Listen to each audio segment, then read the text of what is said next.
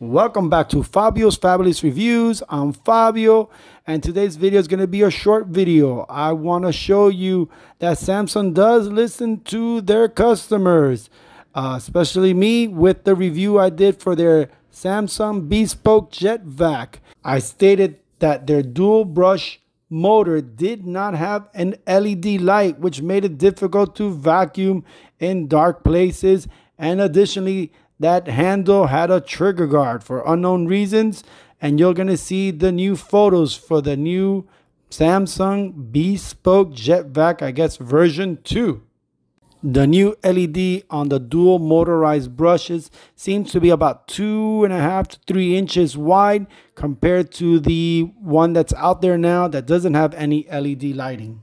Now looking at the new handle, it looks like it doesn't have a trigger guard anymore but it does have a finger rest. So something new. Let's see how that works out with this new design. And finally, I want to leave you with two videos. The one of myself uh, using the handheld. You can see the uh, trigger guard there, how cumbersome it is. And the new video from Samsung advertising their new model.